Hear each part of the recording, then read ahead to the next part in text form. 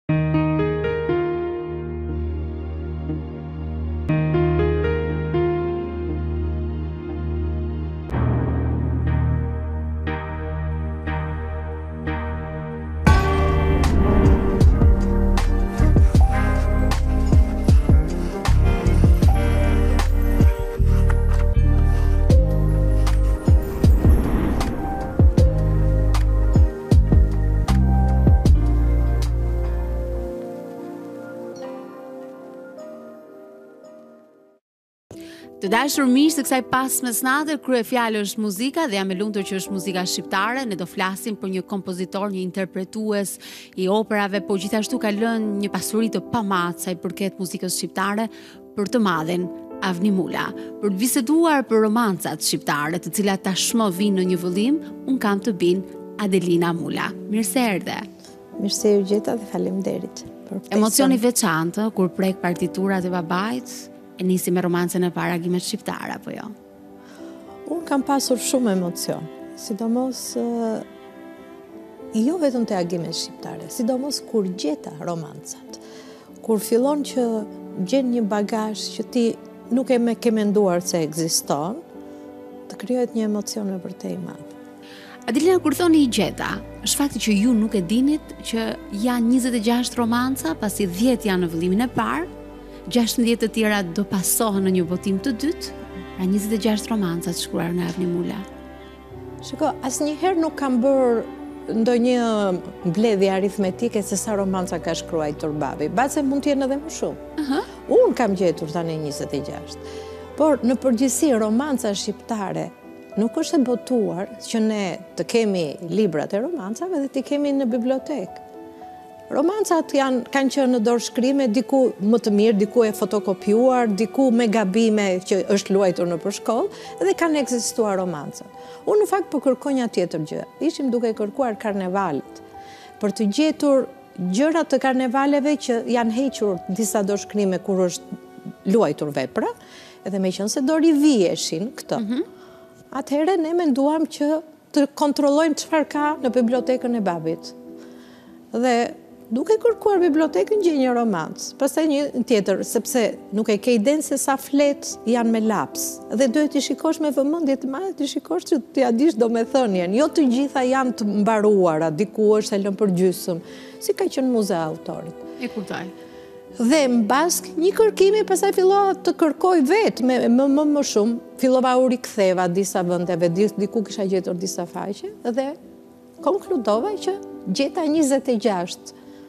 Kur u bënë 26, atëherë vendosa që të bëj një libër, sepse njëzet e gjashtë nuk janë pak. Bashkë me Invën të dyja. Natyrisht. Këto kërkesat i bënja unë duke kërkuar Ima thoshte po shiko se mos ka dhe këtë gjë më këtë po gjithmonë ishte për karnevalet. Nuk kishte lidhje ishte po, para ishte kërkesa për t'u vënë, por që të gjenim sa më shumë detaje të karnevaleve nga dorëshkrimet e babit ato që ishin me dorë. Mhm. Dhe ja, duke kërkuar për një gjë, gjetëm një vlerë tjetër. Zbuluat një gjë shumë të bukur. Po. Pastaj, si mbas punës dhe si mbas viteve që babi zakonisht kur mbaron gjithmonë vë një datë. Mhm. Dikush, diku kam gjetur dhe pa data, po pastaj kam gjetur një kopje të regjistruar, domethënë, Dhe ke arritur t'i bësh po, të sakta kur janë po, shkruar. Po, dhe prandaj afërsisht ne kemi bërë ndarjen tamam në data tani të romancave. Atëherë si hark kohor sa mund të rrokin shkrimi nga e para romancë që është po. Agimet shqiptare po. deri tek romanca 26. Si hark. I bie deri në 2003. Deri në 2003 ka shkruar. Pra i bie nga viti Që është romanca e parë. Romanca e parë është 61-shin. 61 2003. Po, 61-shin dhe 61-shin unë kam përshtypjen që e para është ankohem nga një plep, se nuk e gjej në asnjë vend, një romanca e dytë që është në librin e parë, nuk e gjej në asnjë vend datën. Por, domethënë, në vitet që mami me babin e kanë kënduar, mhm. dhe që ka mbetur kjo, mami bile, unë e kam të futur në Youtube me këtë romancë, Janë vitet e para të incizimeve të tyre, kështu që kjo romancë është shkruar. Mendohet se është e para. Po, se është e para. Pastaj është Agimet shqiptare, po që Agimet shqiptare ka një vulë sepse ka marrë pjesë në një festivalin e parë të romancës shqiptare, ku ka marrë dhe çmimin e parë dhe duke pasur dhe Edhe emrin e çmimit aty nuk lëviz data. Ajo është kjo është e palëvizshme. Po. Do ndërpres pak, ndjekim një profil për të madhin Avni Mula dhe rikthehemi sërish për biseduar në studio për romancat, por jo vetëm.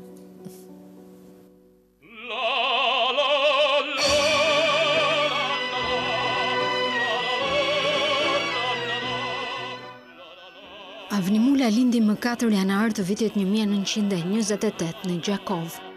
Por për shkaqe përndjekjeje, në vitin një mijë e nëntëqind e tridhjetë, kur Avniu ishte ende një fëmijë dy vjeç, pas një udhëtimi katër ditor, gjithë familja Mula u vendos në qytetin e Shkodrës, për shkak të genocidit serb. Ai ishte kompozitor i shquar shqiptar, Avniu u martua me sopranon ruse Nina Mula, me të cilën patën dy vajza, sopranon e mirënjohur Inva Mula dhe pianisten Adelina. Fillimisht këndoi në festat e nëntorit. Një propozim që i vjen nga Prenkë Jakova. Suksesi u arrit. Me këtë ngjarje mund të themi se Avniut iu hapën dyert drejt artit muzikor. Ai studioi në Moskë në konservatorin Çajkovski. Në kohën e konservatorit, Avniu studionte, por dhe jepte edhe koncerte. Ai u bë artist shumë i njohur. Avni Mula mbrojti diplomën duke iu dhënë laura e artë, me rolin më të bukur e të vështirë, atë të Figaros.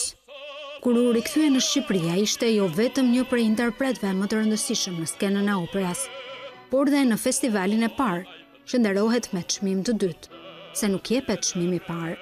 Avni Mula në dyzet e katër vjet krijimtari nuk është ndalur vetëm me këngë të muzikës së lehtë dhe për fëmijë, por dhe në zhanre të tjera të muzikës, si opera, balada, kantata, romanca, balete e të tjerë.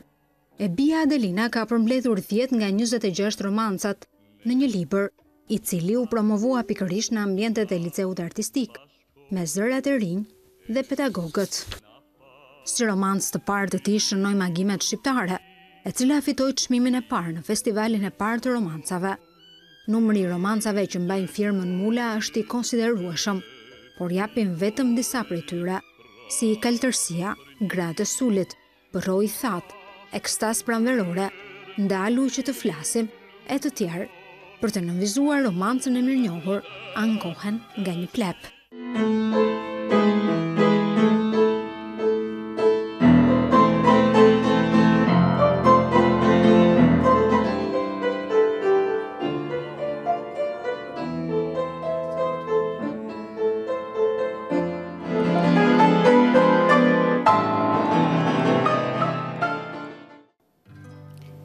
Ky është një profil telegrafik, pasi kontributi i tij është shumë i madh. Besoj se edhe ty të mbush me emocione, teksa shef kujtimet e babait. Sidomos kur shikon të gjallë atë figurën. Ëh.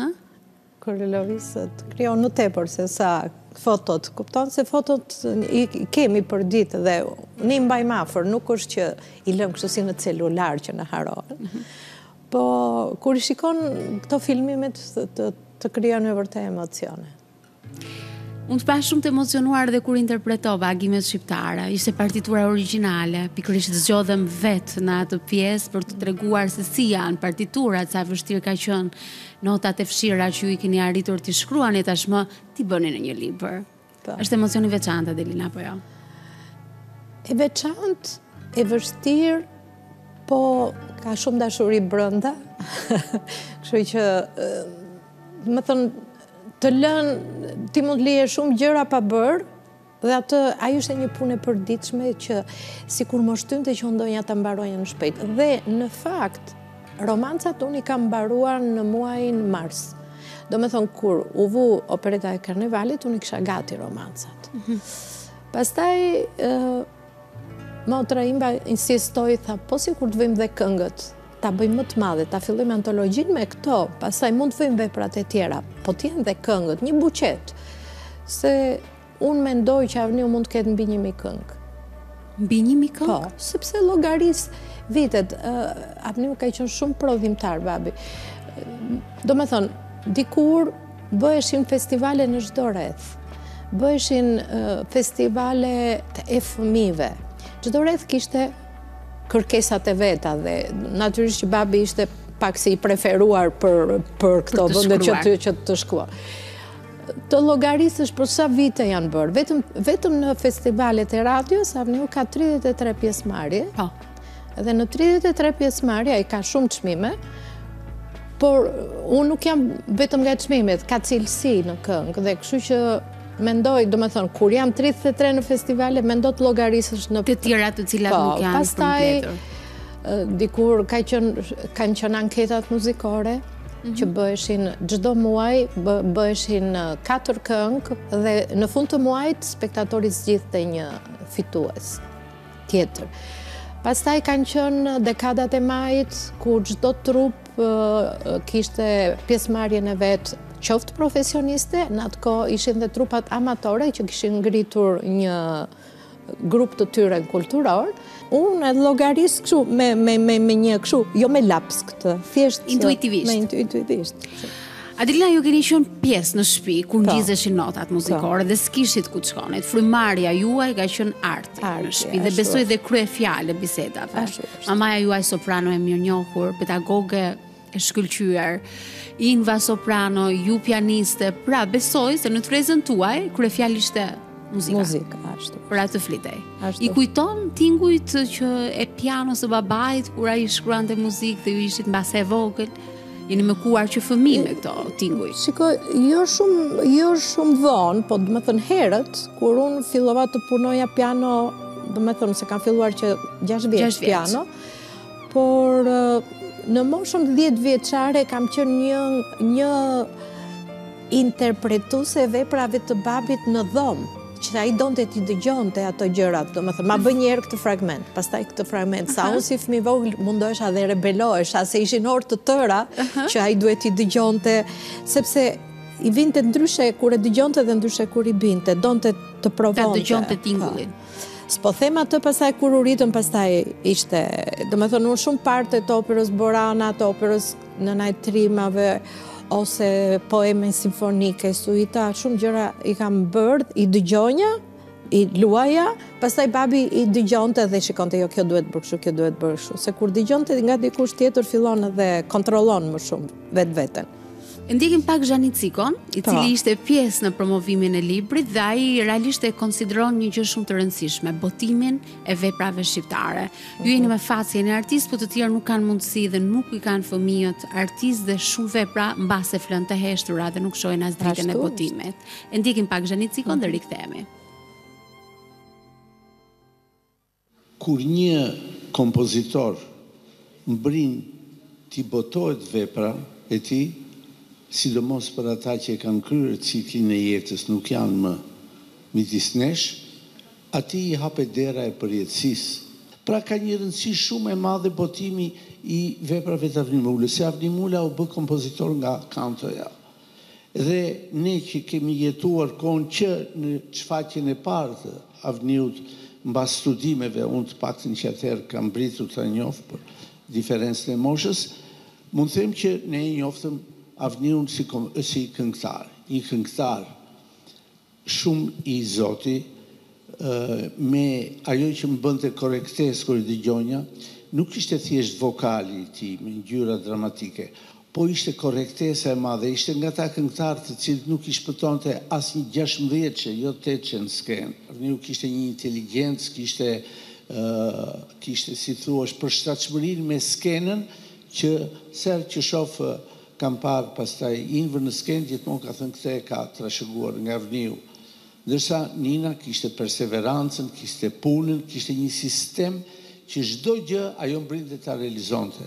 Edhe unë jam një dëshmitar se kam qëlluar në institucionin e operas, Rasti ka sjellë që të jem edhe drejtori i tyre, edhe artistik, dhe kam parë pikërisht mbështetjen më të mirë ke këta njerëz që janë kanë qenë punëtorë të përkushtuar jetësisht për skenën shqiptare. Kjo është një gjë e madhe.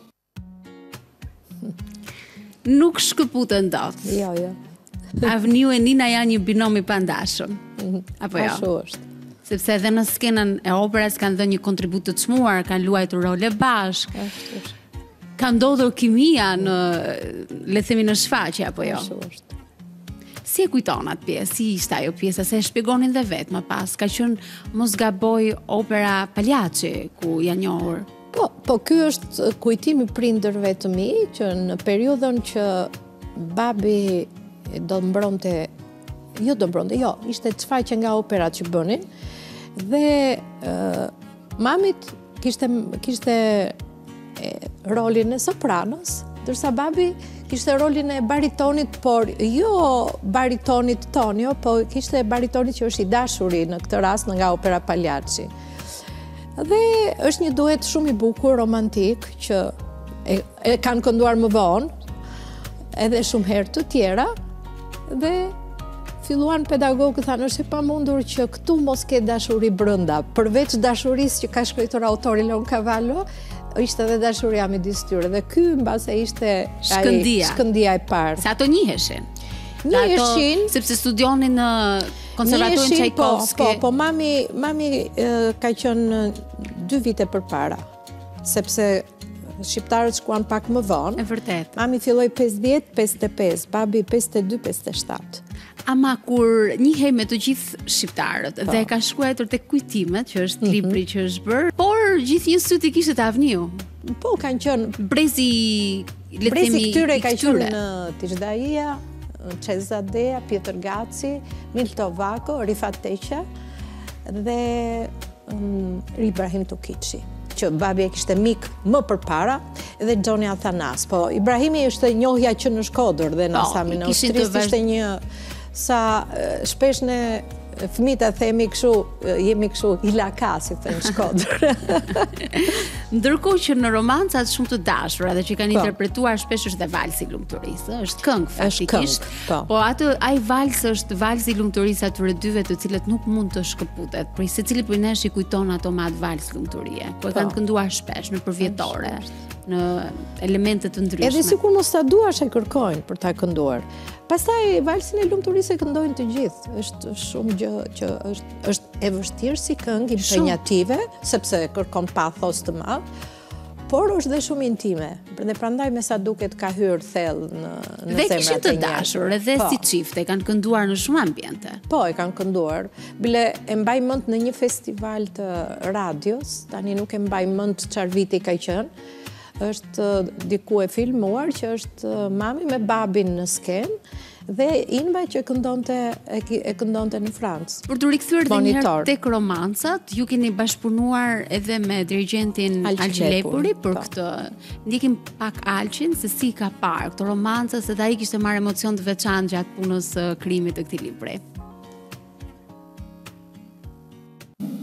Mos pandeni se Avniu ka dalë ka kënduar vetëm atje në Opera, Avniu dhe me një fizarmonikë edhe me dy tre këngëtarë ka dalë kudo nëpër Shqipëri dhe ka kënduar, ça ka kënduar? Këngët më të bukura shqiptare. Shumë nga ato që i ka bërë vetë dhe njerëzit pandejnë se janë këngë të këngëtarëve, ato janë këngë të Avniut, po janë kaq popullore sa që duken oh, po se ky e ka bërë dhe këtë? Prandaj, dhe unë këtë kam ndjerë, në kohën që shkruaja muzikën me Adelinën, Adelina në këtë rast është bashkëautore, sepse shumë nota nuk gjendeshin, shumë nota ishin të fshira, mirëpo ato duheshin bërë simbas asaj që ka bërë Avniu, jo simbas asaj që mund të bëja unë. Dhe kështu që Adelina ka qenë çdo natë e pranishme në piano andej unë këndej nga ana tjetër edhe çdo notë është korrektuar është bërë atje që nuk dukeshin i ka shkruajtur ajo i ka shkruajtur prapë në bazë të asaj sepse i ka luajtur ajo është rritur brenda atyre partiturave. Adelina dhe ju keni gjithë ato shkrime Dhe nga fundi e keni ndihmuar Kur ai po, nuk po. Eh, kishte vështirësi mm, Kështu që ti ia ke marrë dorën mirë shkrimit të notave të muzikës Apo jo? Po de facto vetë nuk kam provuar të shkruaj. Të babit ke kopjuar. Të babit është tjetër gjë, është tjetër gjë. Ai autorësia e tij është e paprekshme, por më pëlqen kjo më kujtua nga profesor Alqi, unë profesor Alqin gjithmonë e kam njohtur, por nuk kemi qenë të afërt në punë, që të na lidhte se ai dirigjent, unë nuk nuk para, domethënë, kam punuar në tjetër sektor në piano. ë Nuk e di pse po po kërkoja një njeri, domethënë, për të për të digjitalizuar, po desha dhe një njeri që njeriu kërkon disa gjëra, nuk kërkon vetëm një gjë, se mhm. punën mund ta bëjnë të gjithë, po varet edhe disa. Mua unë preferova thashë po pyes një herë profesor Alqin. Dhe gjatë kohës që ne kemi punuar librin, profesori më ka treguar shumë gjëra që kishin lidhje me babin dhe që profesori kishte të ruajtura në zemrën e tij se profesor Alqi është nxënës i Rifat Teqjes. Po. Dhe Rifati ka qenë shok i babit. Dhe shumë gjëra babi shkonte. Për cilat nga kujtimet? Gjërat më të bukura, për shembull profesori thonte që në kohën që unë akoma isha student, nuk e di tha pse qëlloi Avniu një ditë që të vinte në mësim, edhe i tha, ky do bëhet student. do bëhet dirizhor shumë i zoti. Dhe mbas një periudhe kohe, tha, nuk e di, ai bëri një shkrim për mua, babi kishte bërë një shkrim për profesor Alqin, dhe, domethënë, ai sikur ma hapi rrugën, tha. dhe pastaj, sa herë kemi bashkëpunuar, sa herë më ka, domethënë, E di disa gjëra njeriu kur punon me dikë dhe gjen edhe kështu disa gjëra që ti nuk i di, prapë në historinë e babit, po që janë të bukura dhe janë pozitive, të japin një të japin edhe një tjetër kështu dhe shpesh herë tregonim ndonjë anekdotë që mbante mend profesori ose kështu, domethënë mua prapë këto më sillnin Atmosferë shumë të bukur. Atmosferë dhe po dhe edhe kujtime edhe rikthim të të kujtimeve. Domethënë ishin të dyja bashkë. Sa domosdoshme janë botimi i veprave muzikore? Janë shumë të domosdoshme për të gjithë autorët shqiptarë. Domethënë janë shumë pak vepra të botuara, po shumë pak. Dhe jo vetëm këtë, po ajo që tha profesor Zhani që nuk është është mundësia, kushton shumë të të botohet një libër. Mhm. Dhe po të hysh për shembull në arkivën e operës, e kështu duhet të jetë dhe në arkivën e radio televizionit, që janë veprat të këtyre autorëve, Janë të tëra me laps. Po, me laps, me syrë laps, ja ku i kemi. Po. Që shfaqen janë... Po, imagino, koha do të vijë, po, rrezikojnë shumë, aq më tepër, nuk e di, se unë për shembull, e di se çfarë veprash ka babi në opera. I kam bërë një kërkesë dhe m'i kanë sjellë të shkruajtura. Domethënë është një, një sektor i gjerë. Por ja, lëvizën këto. vepra. Shkuan, erdhën këtu, u qëndruan, pastaj ikën prapë, nuk është që janë ato në kushte, në kushte optimale, për që të ruhen. Po të shikosh për shembull në ca, në ca biblioteka me vlerë, mhm. vepra, dorëshkrimet nuk t'i jep asnjë njeri. Ato preken vetëm me, me doreza. Me doreza që të mos luajnë. Do thuash ti, ato janë shumë më të vjetra. Po fundi e fundit, kjo është historia e muzikës shqiptare dhe ne do ta do ta ruajmë atë që ka filluar. Nuk kemi pse të fillojmë gjithmonë nga zeroja. Duhet të fillojmë nga numrat që janë bërë dhe të vazhdojmë numrat. Shkodra ka qenë shumë e dashur për Avniun. Shumë e dashur. Kthehej shpesh. Bile, mund të them dhe këtë që jo vetëm Shkodra, po mamin kur ecte nëpër rrugë i thonin zonjë ju shkodrane jeni po thonte mami im se siç duket kaq kishte ndikuar gjuha e shkodrës te babi kishte vazhduar dhe ke mami sa mami identifikohej për shkodrane sa e bukur ka qenë pjesa e dasmës ia bënë një dasmë të improvizuar fillimisht po. muzikantët. Ma shpjego pak se ka qenë një moment shumë i bukur që e ka treguar dhe vetë Nina. Po, ishte vë mashallah na ka dalë nusja, po kjo filloi që në Durrës. Mami dhe babi janë martuar në në Moskë. Në Moskë, por po. filluan më pas, dasma si të themi e dytë, në çfarë mund ta po, quajmë. Po, ajo ishte më tepër ardhja e mamit për herë të parë në Shqipëri në 57-ën, mm -hmm. edhe ishin gjithë studentët në në anije, se me anije erdhi. Me anije. Dhe natyrisht kishin dalë dhe disa për t'i pritur dhe kështu që improvizuan sa e bukur na, na paska dalë nusja dhe kënduan aty derisa zbriti. Pastaj në Shkodër ishte edhe tjetër, po, sepse në Shkodër nëpër ato rrugët me kaldrëm, në atë kohë shtëpia e gjyshërve ishte akoma atje. Derisa pastaj dolën ke pjesa e teatrit Migjeni ku kanë jetuar. Dhe babi në rrugët me kaldrëm e mori hopa se mami ishte me taka të larta. është moment i bukur që Nina këndon Traviatën. Po. Dhe këndon në shqip, se atë kohë i i jepeshin në shqip. Nuk e kishte mësuar shqipen mirë, po shumë shpejt arriti të mësonte dhe të jepte dhe interpretim dhe mori vlerësim maksimal, apo jo? Shfaqja e parë e mamit në gjuhën shqipe ka qenë opera Jolanta e Çajkovskit. Po, po. Dhe mamit i thanë që do ta këndosh rusisht. Mami ngaqë e njihte repertorin, nuk i bëri domethënë kështu. Pastaj në një moment të caktuar thanë jo, do këndohet shqip. Dhe siç e tha dhe Zhani, mami ka pas atë kurrë nuk, nuk trembej nga asnjë gjë, Dhe e ka mësuar komplet operën në gjuhën shqipe, pa ditur asnjë fjalë në atë kohë, se ajo 6 muaj ndenji pa folur, derisa mësoi të fliste dhe pastaj nuk gaboi. Mami fliste shumë mirë shqip. Shqipen e ka po. folur shumë mirë. Dhe Jolantën e ka kënduar shqip pa ditur asnjë fjalë. Kështu që ishte një, mendo, flasim në 57-ën, Imagjino Nina duke kënduar Jolantën një vepër ruse të Çajkovskit të këndojë në shqip. Pa pa ditur gjuhën fare. Domethënë duhet të jesh njeri i vullnetshëm për ta bërë. Por unë mendoj dhe këtë që edhe të mësuarit e, e operave në gjuhën shqipe ato e kanë ndihmuar shumë në gjuhën e saj. Mund të bënte ndonjë gabim ortografik, po për të kënduar nuk bënte kurrë. Asnjëherë, po. asnjëherë. Mm, po dhe me Avniun ishin bashkë të dy, ndihmon shumë dhe komunikimi që kishin në shpi, plus edhe ndarja e skenës. Kanë punuar shumë, shumë bashkë, gjatë gjithë kohës, domethënë, kurrë nuk i kanë lejuar vetes, domethënë, Provat bëheshin në shpi përpara.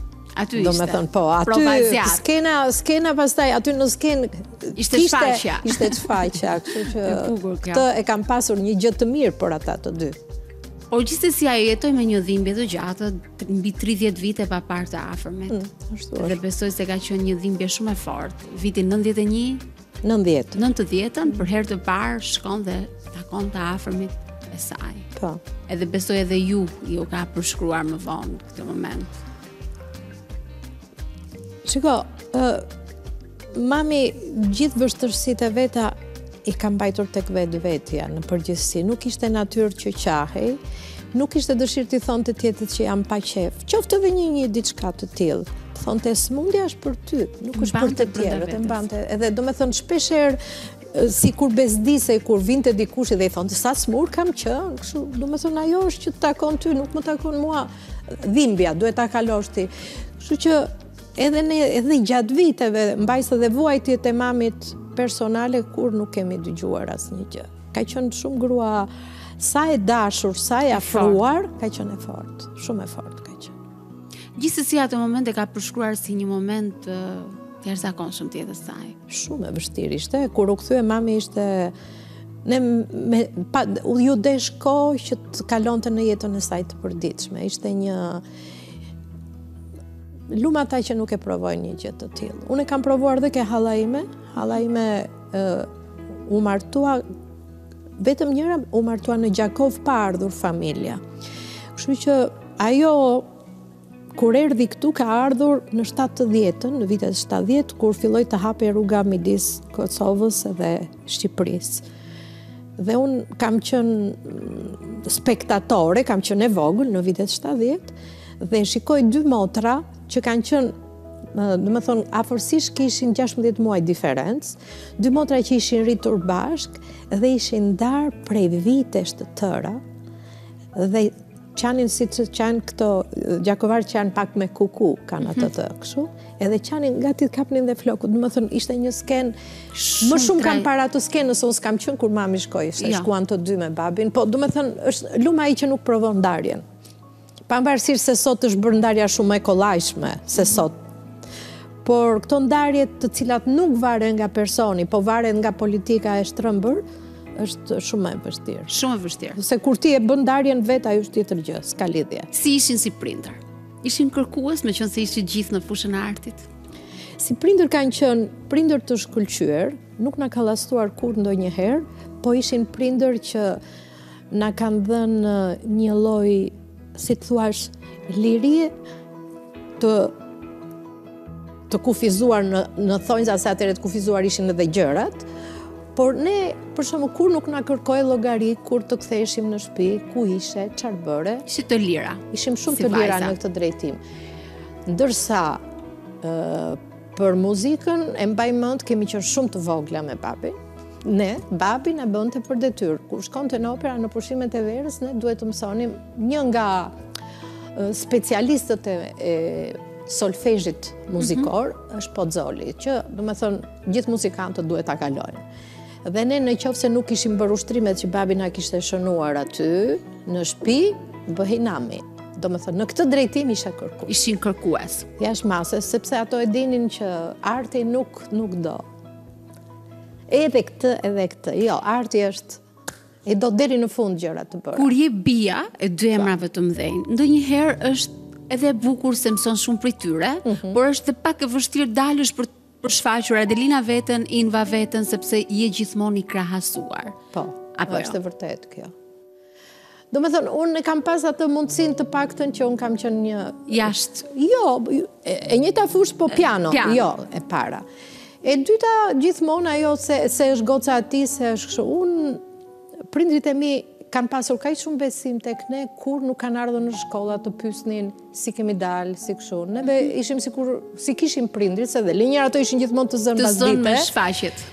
Dhe në këtë pikë atë nuk kishim diskutime. Ndërsa Në këtë që po se ti je vajza e atij, këtë sidomos Inva e provoi shumë në kurriz, gjatë gjithë kohës, Po pastaj kur mori rrugët që të këndonte nëpër botë, aty prindërit e saj nuk ishin, ajo ishte forca e saj. Me vërtet, ajo ishte mësuar mirë, ishte edukuar mirë, ishte e aftë për të fituar aq konkurse sa fitoi, gjë që s'e ka fituar njeri deri më sot, por që Këto i bëri vetë.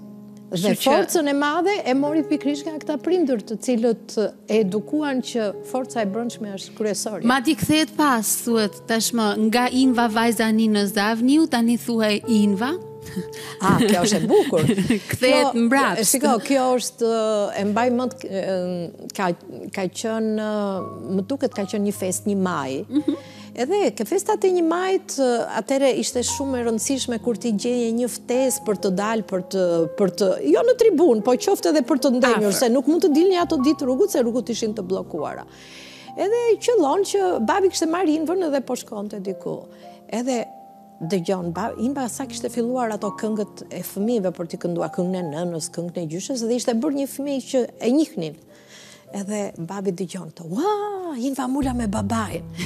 Dhe babi që atë ditë e tha, sot e mora vesh që jam numër dyshi, jo njëshi. Kështu që e ka përjetu herët numër po, dyshi. Po, herët. Sepse mbaj mend kur po vinte shfaqen Borana, po. aty ka përjetuar një emocion shumë të veçantë. A shumë. Dhe kam intervistuar, ishte i përlotur, sepse Ajo vepër ishte shkruar shumë kohë më përpara, madje kishte patur që në... kishte patur një kalvar të gjatë që në 68-ën është shkruar.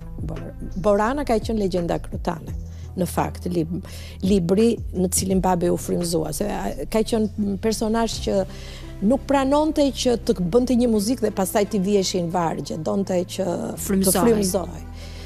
Dhe e shkroi ti po të mendosh gati mbas dhjetë vjet nga shkolla, domethënë ishte goxha i ri dhe mori shumë kritika sepse e quajtën që nuk është kompozitor, por që është këngëtar. Në fakt ai kaq mirë i njifte operat sa, domethënë mund ta bënte një gjë më mirë se një. Dhe de facto në të gjithë veprat e babit që këndohen nga këngëtarët nuk kanë vështirësi. Kanë vështirësi vokale sepse ai e shkruan për një këngëtar të mirë. Por mënyra e të shkruajturit është për zërin që i takon për shembull nuk ka vështirësi që nuk i tingëllon tenorit ose i tingëllon sopranos. Sepse njihte shumë mirë. Sepse janë specifike gjërat dhe gjithmonë, për shembull, kompozitori më i madh ose i pari që hapi rrugën e operave ka qenë Glinka në Rusi. Mhm. Dhe Glinka Ishte këngëtar vetë dhe opera e tij e famshme Ivan Susanin, që sot këndohet në gjithë botën, është e mrekullueshme për të kënduar pikërisht se ai ka qenë këngëtar. Domethënë, është gjithmonë shumë më afër kur ti je profesionist. Sigurisht. Dhe ai ka shkruar katër opera.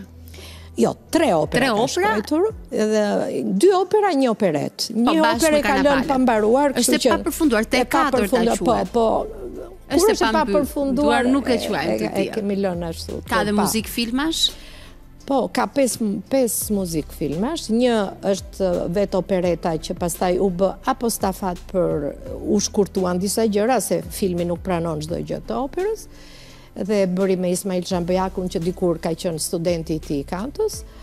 Dhe pastaj janë filmi Balonat, është filmi Martesa e Blertës, është, domethënë, i ka shumë të bukura filmat, muzikën e ka goxha të bukur. Por muzika lirike i rrinte shumë për shtat, liriku shqiptar mund ta quaj. Po, kështu e quaj, babin e quaj lirizmi shqiptar, se gjithmonë ai që këndon, Me zërin që i vjen frymëzimi nga zëri, bëhet pa dashur lirik.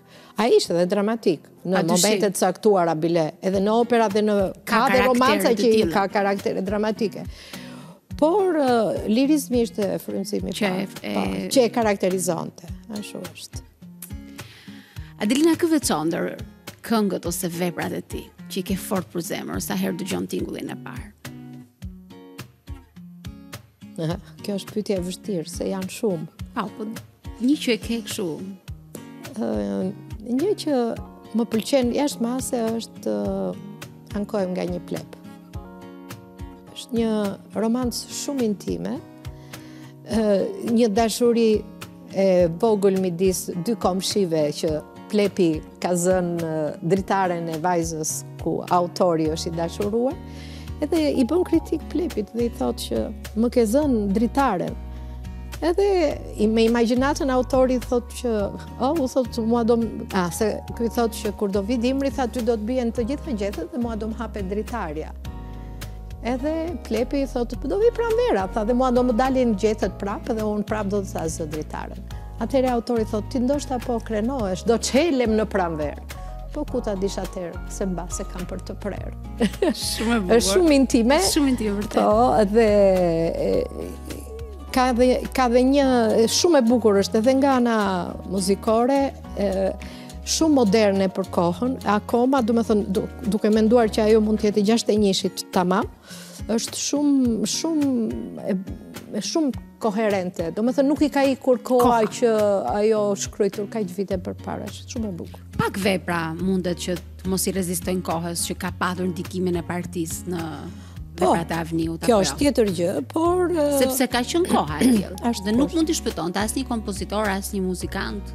edhe terminologjisë së kohës. Unë në këtë periudhë kam bërë dhe këngët që të thashë. Aha.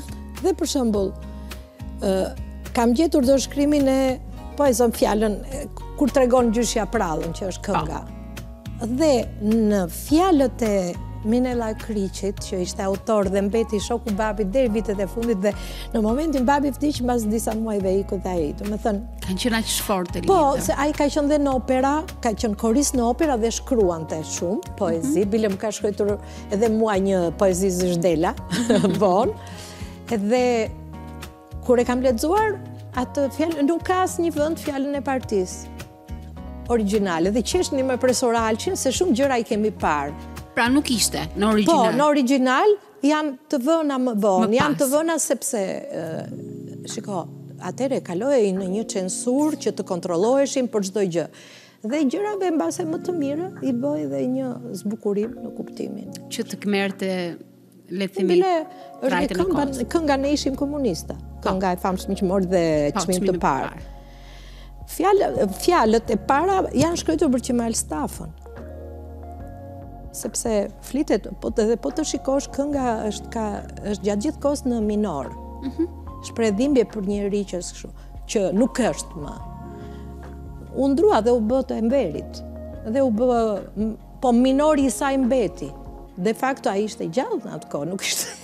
Nuk ishte vdekur. Kështu që de facto ishte shkruajtur për. Pra, dashi pa dashi i retushonin këngët. Po, retushonin. Ju vendosnin gjëra të tjera, ndërkohë që në origjinal nuk janë ashtu. Po, pastaj ka dhe të tjera që janë kërkuar për këtë gjë dhe, dhe duhet t'i bënte. Po, normal. Se ka qenë kohë shumë e vështirë për artistët. Murit me kokë nuk i bije në atë kohë. Babi pastaj kishte edhe një grua të huaj, përveç se ishte dhe Mami, në vitet 70 e ka marrë vesh që babi ishte gjakovar. Se dhe gjakovarët nuk thonin që ishin gjakovarë në atë kohë. Po, ka qenë pra, një periudhë shumë e vështirë. E dinte që ishte Shkodra. Shkodran, se fundi e fundit babi po, aty u rritë dhe gjithë miqtë i kishte në Shkodër. E vërtetë. Po, por që ja. Historira të ndryshme. Në Shkodër ai ka patur edhe çiklizmin, shumë pasion, se kishte edhe foto. Ka qenë pasioni i tij i parë, në çiklizmi ishte pasioni i parë, ka qenë shumë i dhënë pas çiklizmit dhe ka qenë edhe i Vllaznisë, domethënë, dhe ishte, po, ishte me pseudonimin Tigri. Se ishte shumë i fortë. Po, ishte shumë i fortë. Në ecjen. Edhe ishte i njoftur me bicikleta. Po. po. Historia e Shkodrës fillon me dyrrotësh. Por qëlloi në atë kohë që babi këndonte. Këngën gjithmonë e ka pasur, por nuk e ka e ka pasur pasion. Akoma nuk ishte profesion dhe këto flasim, kjo ishte mosha 16-17 vjeç. Dhe në atë kohë kur ishte shumë i ri ai e çuan për të dhënë mësim diku në fshat. Domethënë sa kishte pa mbaruar gjimnazin, domethënë që i çonin për të ndihmuar. Qëlloi aty që ishte një prift, i cili e dëgjon babin duke kënduar me kitarë në dhomën e vet, ke, ke qela që kishin lënë aty për kështu.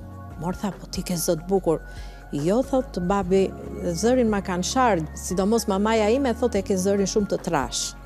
Se s'dinte ajo e shkreta... Që është bariton. Po, që ishte lloj baritoni. Mirë, tha, unë do bisedoj për ty. Dhe bisedon me Prenk Jakovën. Bisedon me Prenk Jakovën, njiheshte. Edhe i thotë Prenka, thuj të vijë në Shkodër, tha, që të, ta digjoj. Se, ishte e periudha që, në, që duhet të rrinte në atë periudhë ku e kishin caktuar.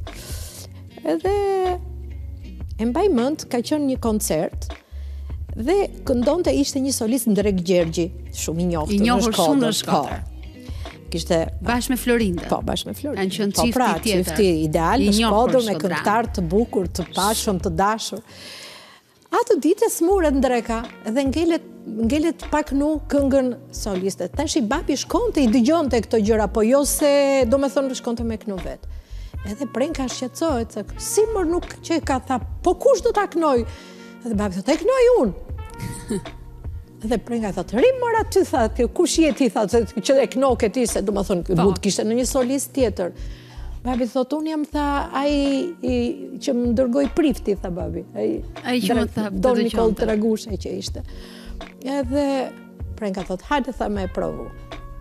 Del babi me provu. Në darkë për të kënoj, thotë. Ka që ishte, po. I guximshëm dhe Prenka. I guximshëm dhe Prenka, i guximshëm dhe... Dhe babi. Dhe babi dhe, dhe prifti i guximshëm që vetëm me diçka që dëgjoi, se nuk është se e kishte parë në koncert, kupton? Dhe mbaj më... Dhe fillon rrugëtimi. Jo, ishte shumë e bukur se në darkë u bë koncert i madh, se ishte koncert i rëndësishëm në Shkodër, siç e ka gjithmonë Shkodra, ato orkestrën e ka pas të, të ngritur gjithmonë. Edhe, kur del babi, Gjithë i kap gazi, se i njifshin se ishte ai çiklisti. Pa.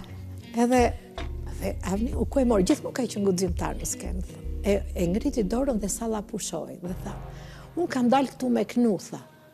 Në qoftë se më pëlqeni, tha, më duartrokisni, dhe në qoftë se jo, tha, unë po dal.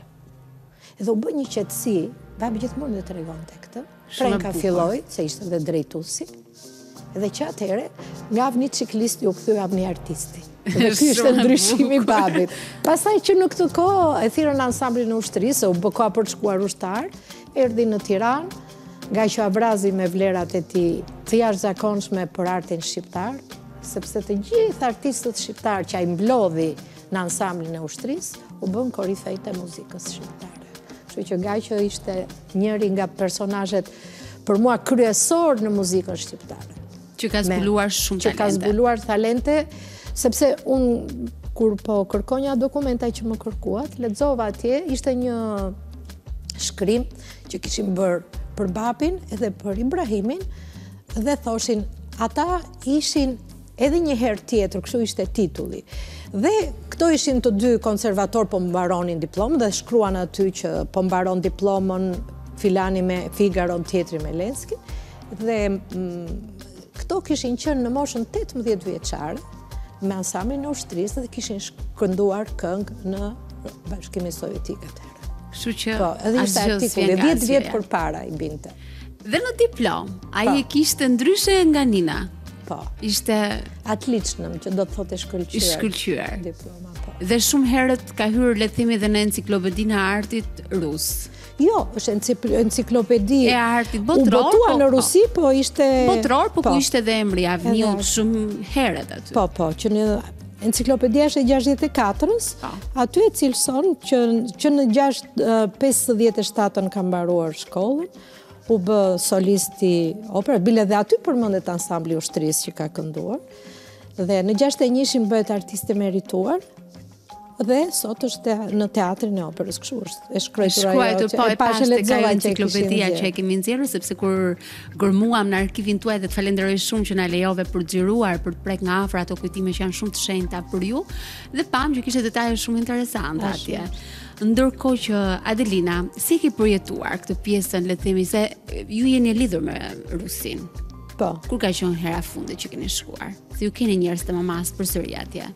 Unë hera e fundit ka ka qenë Në 2007. 2007. Pra, mhm. tani që ka ndodhur lufta nuk keni shkuar më. Tani që ka ndodhur lufta, jo dhe jo, po para 3 vitesh pata një humbjen e djalit të dajës, mhm. që unë kisha një lidhje shumë të madhe shpirtërore me atë.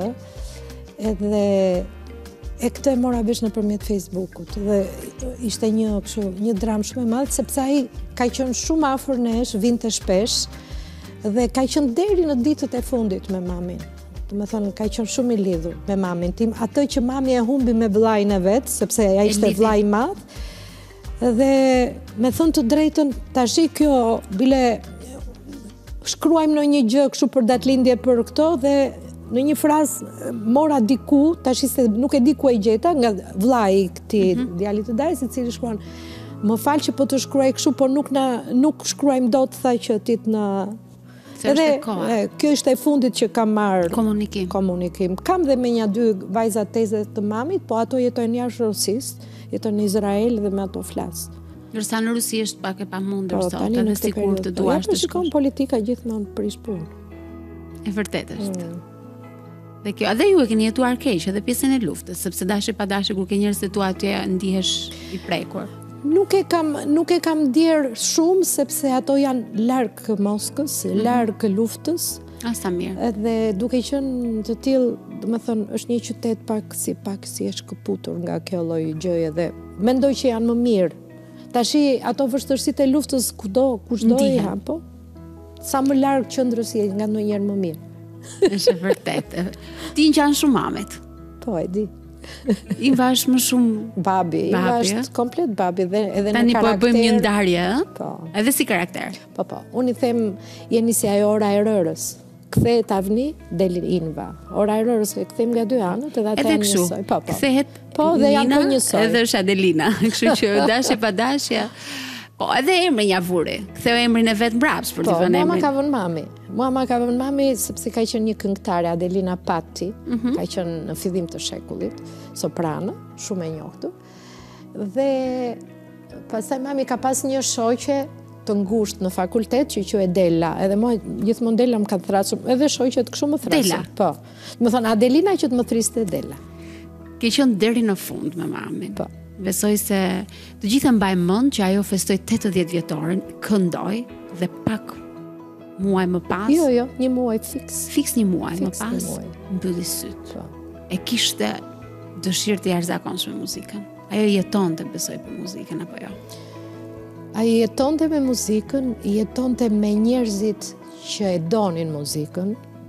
Nuk kishte student të fakultetit, të, të liceut, që mos i kërkonin dhe ajo mos i jepte ndihmën e saj Domethënë nuk ka rëndësi në ishte nxënësi apo jo, ajo shkonte në çdo koncert, fliste, kishte një gjë që dhe unë e kam pak trashëguar që e thonte direkt atë të mirë ose të keqe. Mirëpo, si duket ia kishin mësuar këtë gjë dhe pëlqenin sepse nuk kishte dorashka për të thënë gjërat. Po, mirëpo njeriu nga Nga të metat mëson, në qoftë se ti nuk t'i vë njeri në dukje, të thotë gjithmonë shumë mirë, shumë mirë, shumë mirë, nuk është gjë e mirë, sidomos në art.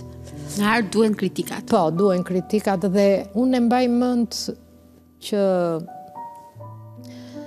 kur ditën që iku mami dhe u bë në prit në oper teatrin e operës u bë një kështu Domethënë nuk kam menduar se mund të njerëz mund të kishte se ajo ishte artiste dhe kështu, po kaq brez të ri kam parë. Domethënë të gjithë studentët që kanë qenë s'kanë bërë asnjë lloj mësimi me mamin, si duket ruajtën respektin.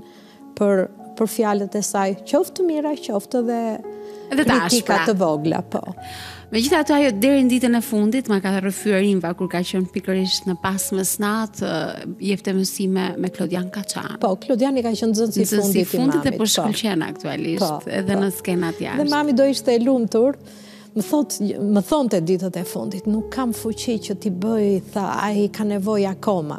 Mirëpo, Klodi jo vetëm që i kaloi shumë shumë mirë etapat, por që u tregua i zgjuar që dhe të metat ka filluar t'i largojë dhe kryesore që po bën atë djalin punëtor, sepse kur ti shkon nga shfaqja në shfaqje të të, të forcon. Është, domethënë, nxënësi i fundit i denjë. Po babi, çfarë kishte të veçantë?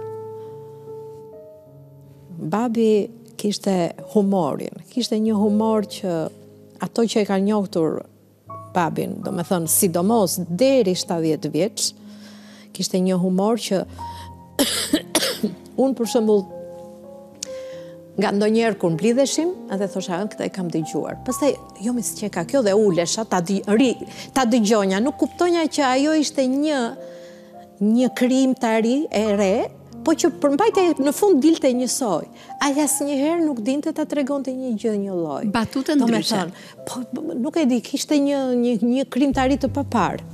Një njeri me një humor, një njeri Rallë kemi parë babin të mërzitur.